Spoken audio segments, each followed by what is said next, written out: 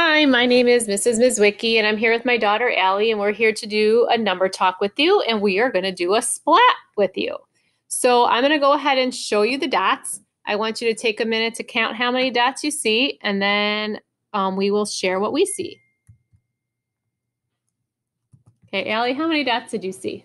I saw seven dots. Okay, I also saw seven. How did you see the seven? I saw a group of three right here and then a group of four right here. Okay, and I actually saw a group of five and two. So we both saw seven, just in two different ways. Okay, now I'm going to take a splat, and I want you to take a minute to think about how many dots are underneath that splat. Okay, okay we're going to give you a second to think. Allie, what are you thinking? How many dots do you think are underneath the splat? Well, I knew there's seven. So then there's two. So if I did seven minus two dots, that should equal five dots under here. Okay, so let's check and see if she's right. One, two, three, four, five. I actually thought of it in a different way. I saw knew that the total was seven and two were out here. So I had I thought, how many plus two equals seven? And I thought about five. All right, here comes a new one.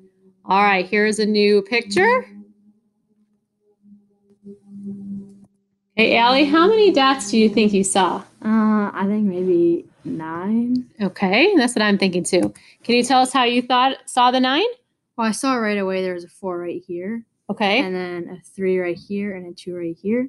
So I knew four plus three is seven plus another two is nine. Okay, and I also saw the four, and then I knew I counted up five, six, and then I saw the three more, which would be nine. All right, here comes the splat, boys and girls. Go ahead and take a minute and think about it.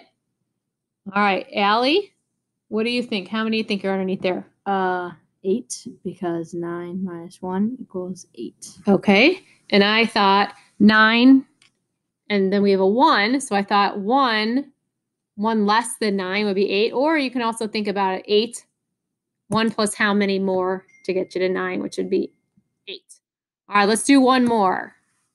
All right, here they come. Ellie, how many dots do you think you saw? I saw eight. Okay, I agree. I think I also saw eight. Because I saw right away that there was a four and a group of four, which is eight. Okay, so four plus four equals eight. All right, here comes the splat. splat. Boys and girls, take a minute to pause and think about how many you think are underneath that splat. All right, Allie, what are you thinking? So I knew it was. Di- I wanted to do something different. So I saw one, two, three, four, five, and I was. Th- I thought, what? Five. What? Plus five equals eight, and I knew that was three. So three dots should be under here. Okay, let's see if she's right.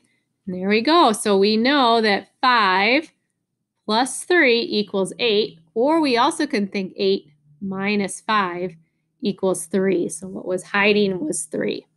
All right. Thank you for joining us and have a great day.